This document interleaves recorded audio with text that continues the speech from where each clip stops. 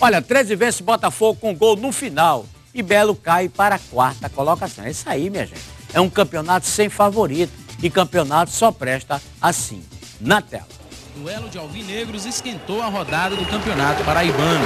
13 Botafogo se enfrentaram no estádio O Amigão em Campina Grande.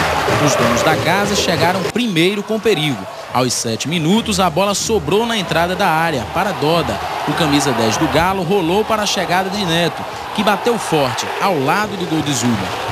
Aos 14, Doda fez bela jogada pelo lado direito, invadiu a área e foi derrubado por Isaías. A torcida pediu pênalti, mas o árbitro mandou seguir. O Galo era só ataque. Márcio Carioca ganhou da marcação e encheu o pé. Zuba só acompanhou. O Belo só chegou com perigo aos 23 minutos. Beto mandou para escanteio. Aos 32, Celico passa bem pela marcação e cruza. Thiago Cunha sobe de cabeça e a bola vai na trave. Na sequência, Neto chuta ao lado do gol do Belo.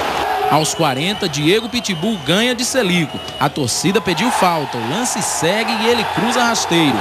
Anderson Cavalo perde boa chance. Antes do fim da primeira etapa, Leomir cobrou falta forte, mas nas mãos de Zuba, que não teve dificuldades para fazer a defesa. O segundo tempo começa com pressão do Galo. A zaga do Belo se segura como pode. Aos 9, mais 13.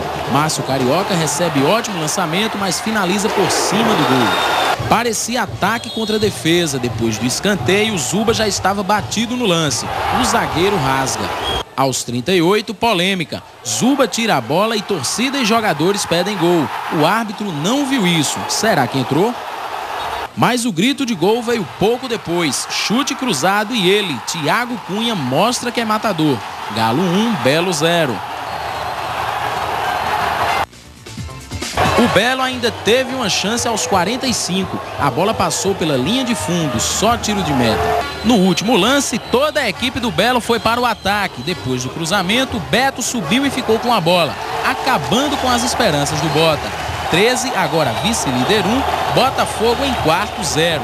Do lado do Belo, o presidente e o técnico Suélio Lacerda comentaram a condição do clube. Nossa parte, primeiramente na gestão com o Botafogo, deixando o Botafogo é, na formalidade, encerrando com, com associações que existiam antes para receber recurso é, em nome do Botafogo, fazendo todos os contratos exatamente em nome do, do, clube, seja contratos de apartamento com jogadores, seja contrato de patrocínio e tentando resolver exatamente as questões da justiça do trabalho. Então perdemos, né, por erro nosso mesmo, porque não se pode tomar um gol, principalmente no final do jogo.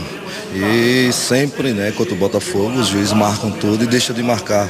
Acho que a televisão está aí para mostrar um plano claríssimo em cima do Isaías.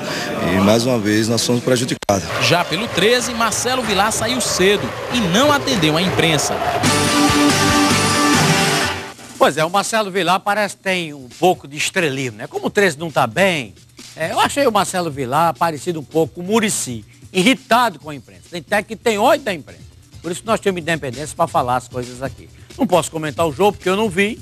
Agora vi um placar normal. É como o 13 vindo jogar aqui em João Pessoa, o Botafogo ganhando de 1 a 0. É clássico. É.